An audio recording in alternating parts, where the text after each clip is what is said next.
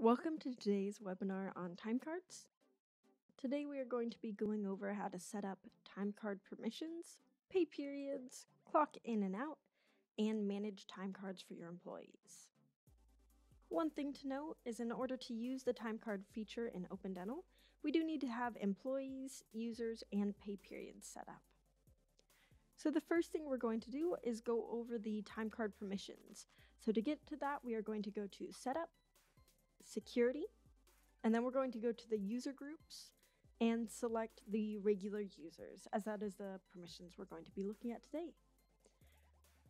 To navigate to it, we are going to go to the Manage module, and we can actually just minimize everything that we aren't needing to make it a little bit easier.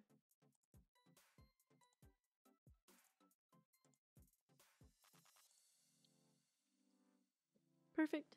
So here you can see the time card settings in the Manage module. So the first one is going to be the Edit All Time Cards. So if a user has this permission, they are able to edit any person's time card and have access to the time card manage window in the time clock section. One thing to note is that the security setting user cannot edit their own time card will override this permission. The next one is going to be time card delete entry. If a user group has this permission, then they are able to delete a timecard entry, and we don't recommend using this permission because timecard changes are tracked anyways. The last one is going to be the edit protected leave timecard adjustments. So if they have this permission, then they are able to create, edit, and delete timecard adjustments that are marked as protected leave for another employee. From here, in the top left, we are going to click on Global Security Settings. So the first and biggest one is going to be the time card security enabled. If this is checked, it does enable the other two time card permissions, but more importantly, it limits users without the edit all time card permission from viewing other employees' time cards. This one is very important. If we check it, the other two settings are then available. The other two are users cannot edit their own time card and users cannot edit their own time card except current pay period. So, as a practice, you get to decide if you want your employees to be able to edit their time card only in the current pay period or not at all. So, for this example, we're going to select the users cannot edit their own time card except current pay period and then click OK. From here, we are going to select Close. And now we're going to set up pay periods. So, in order to set up pay periods, we're going to go to Setup, Manage, Time Cards. So you'll notice on the left is going to be our pay periods. So with pay periods, we have three options here. We can either create more with the add one or generate many buttons. We can delete the selected pay periods by selecting and then deleting. And then we can also double click and then manually edit the start, end, and paycheck date. So we're going to leave this one and create some more. So we are going to select the generate many button. From here, you get to choose which interval you would like to use. We are going to leave it on the semi-monthly for this example, and we are going to change the number of pay periods that we want to generate to be 20. From here, because we have the semi-monthly selected, with the semi-monthly, you get to select what period one day and period two day you would like, and if you want that to be the end date or the pay date. We are going to leave as is, one thing to note, this last day checkbox is going to make the period two day be the last day of the month. We are going to leave it and move on to the payday. With the payday, you can either select the day of the week or the number of days after the pay period. You then get to decide if you want to exclude weekends, which we are going to leave checked, and then you get to decide if you want employees to be paid before the weekend or after. Since this all looks correct, we are going to then generate. You will also notice that the start date right here is one day after the end date of your last pay period if you already have some generated. From here, we can look at the paycheck date and make sure that it matches our settings. You will notice that you see the paycheck date of the 1st and the 16th as we input, and on the days that are a couple days off, that is simply going to mean that our paycheck date fell on a weekend and because of our settings and we are excluding them, it is going to do the day before that weekend. Since this all looks good, we're going to click OK. And you can now see all of our pay periods on the left. On the right is going to be our rules for our pay periods. We have three options here as well. So you can add, delete selected, or if there's one already created, you can double click into it to edit. So from here, we're going to select add. We have overtime if over a specific amount of hours per day. You have rate two hours if it's before time of day or after. Then we have use rate three for weekend hours, or if someone is overtime exempt. The last one is going to be the earliest clock in time. Now, for the employees, you can have it apply to all employees, or you can select specific ones. In this instance, we are going to leave it as all employees, and we are going to enter in that it will be overtime if over 8 hours per day. Once we click OK, the rule is going to show up right here. You will notice if you entered it in incorrectly for any reason, rather than deleting, you can double click into it and manually edit it again. In the bottom left is going to be the ADP information in case you want to connect that, and then there's going to be the options at the bottom. So the options at the bottom are going to be use decimal format rather than column format. Calc daily button makes adjustments if breaks are over 30 minutes, and to use seconds on time cards when using the column format. This is up to your preferences. From here, because our pay periods are set up, we are now going to close. Now making sure that we are in the manage module, we're going to now look at the time clock. So in our time clock, we can see our employees here.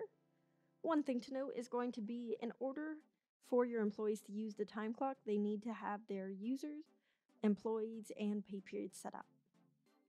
Since we have done all that, we are going to look at Will. If we want to, we can clock out Will for break. And then we can also clock him back in.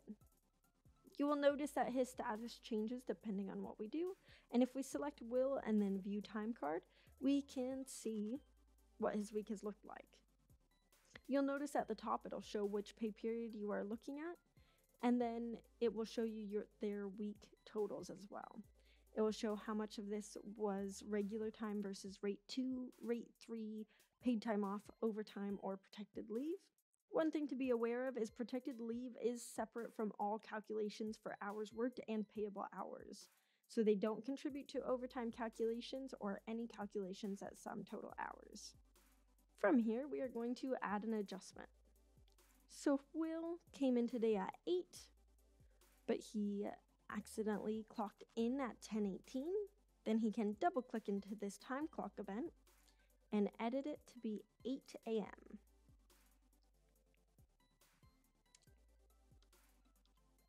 We're going to add a note.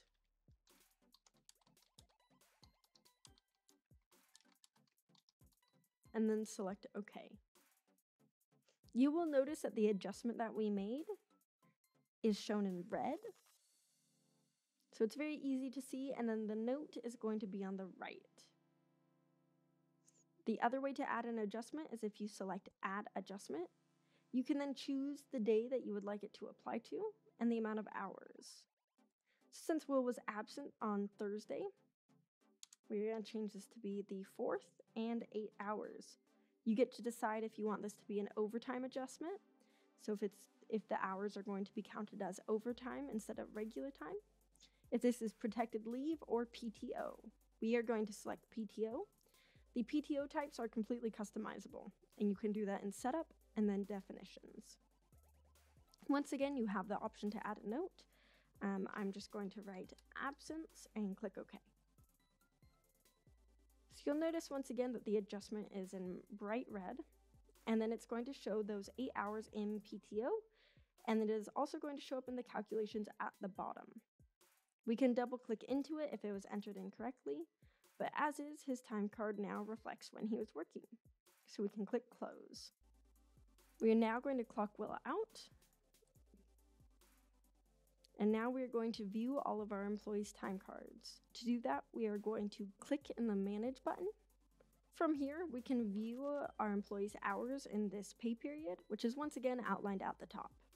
It'll show you how many hours they worked total, how much of it was rate 1, 2, 3, and overtime, and how much PTO and protected leave hours.